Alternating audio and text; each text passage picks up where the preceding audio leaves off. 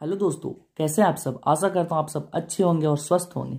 दोस्तों, आज का वीडियो बहुत ज़्यादा इंपॉर्टेंट होने वाला है, क्योंकि आज हम बात करने वाले ओ मेडिसिन के बारे में, जिसका फुल फॉर्म होता है अदर काउंटर मेडिसिन मतलब ऐसी दवाइयाँ जिसके लिए आपको डॉक्टर के प्रिस्क्रिप्शन की ज़रूरत नहीं पड़ती।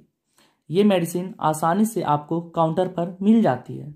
दोस्तों, कुछ ऐसी मेडिसिन है जिसे हम अपने घर पर इमरजेंसी यूज़ के लिए रख सकते हैं। क्योंकि बहुत सी ऐसी बीमारियाँ हैं जिसमें हमको तुरंत इलाज चाहिए होता है और कई बार इमरजेंसीज भी होती है।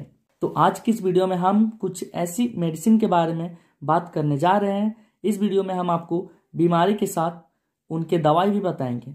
तो दोस्तों, वीडियो को स्टार्ट करने से पहले मैं ये बता दूँ, यह वीडियो केवल आपकी जानकारी के लिए बनाई गई है। इसमें कोई भी दवा बिना बीमारी की कंफर्मेशन के आप किसी भी दवाई का इस्तेमाल ना करें।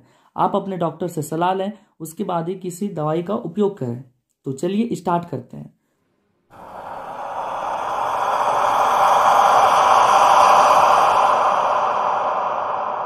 सो so, दोस्तों सबसे पहले हम फीवर की दवाई के बारे में जानते हैं जो कि कॉमनली यूज़ किया जाता है।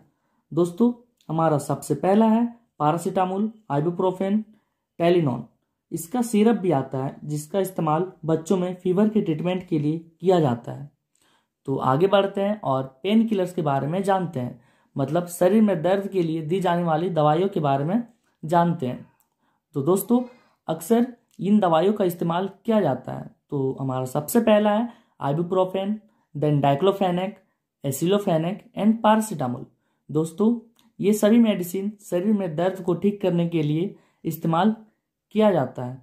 दोस्तों, ये सभी medicine N S A I D group के अंडर आती है, जिसका फुल फॉर्म है non steroidal anti inflammatory drugs तो अब आगे बढ़ते हैं और इसके बाद हम हेडेक यानी सर में दर्द के लिए दी जाने वाली दवाइयों के बारे में जानते हैं। दोस्तों, हमारा सबसे पहला है एस्प्रिन जो कि डिस्प्रिन के नाम से भी मिलता है। और नेक्स्ट है आइबुप्रोफेन एंड पारासीटामोल और इसके अलावा आप झंडू बॉम या आर्डेक्स बॉम का भी इस्तेमाल कर सकते हैं। अब दोस्तों, इसके बाद है नौसिया एंड वॉमिटिंग यानी उल्टी आना या जी मिचलाना दोस्तों, इनके लिए हमने दो मेडिसिन लिए हैं, जिनका अक्सर यूज़ किया जाता है। पहला है ओंडासेट्रॉन एंड डोमपेरिडोन दोस्तों, ये दो जेनरिक नेम है। इनके ब्रांड नेम से काफ़ी सारी मेडिसिन आती है, जिनका इस्तेमाल नोसिया एंड वॉमिटिंग के लिए किया जाता है।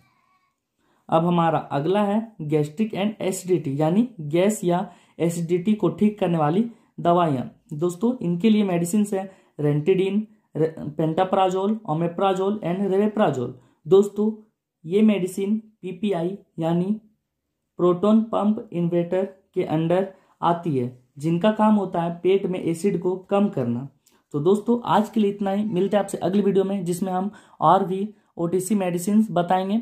तो दोस्तों, ऐसा ही मेडिसिन की जानकारियों के लिए आप हमारे चैनल को सब्सक्राइब करें, अपने दोस्तों के साथ शेयर भी करें और आप हमें कमेंट में बताएँ कि आपको ये वीडियो कैसा लगा। तो दोस्तों, मिलते हैं आपसे अगली वीडियो में। धन्यवाद। जय हिंद।